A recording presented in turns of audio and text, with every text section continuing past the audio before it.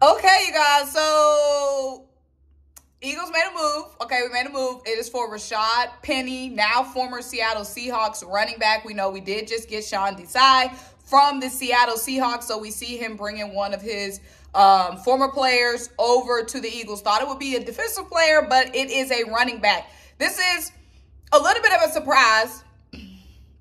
We knew that we would likely not be bringing back Miles Sanders, and we are a running back by committee type of offense. So Kenny Gainwell um, right now is our feature back. We know that there are some running backs in this draft, but look like we went the free agency route getting Rashaad Penny. Now this doesn't mean that we can't necessarily still go draft a, a running back, but I don't see us drafting a running back high anymore, i.e. Um, Jahmyr Gibbs, i.e. Bijan Robinson, which is good because we need to be going defense in the draft anyway. So this is our third move after bringing BG and Kelce back. We get an external guy in Rashaad Penny. He has battled some injuries as of late, but he's a guy that, when healthy, averaged six yards per carry. He is a veteran.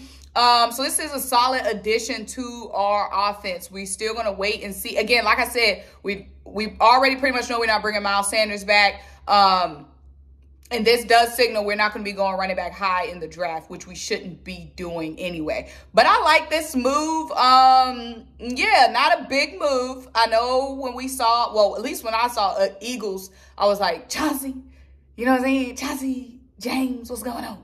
And it was Rashaad Penny. So just a little like good move, but just just just not the news we're waiting on. Um, you guys know what I mean.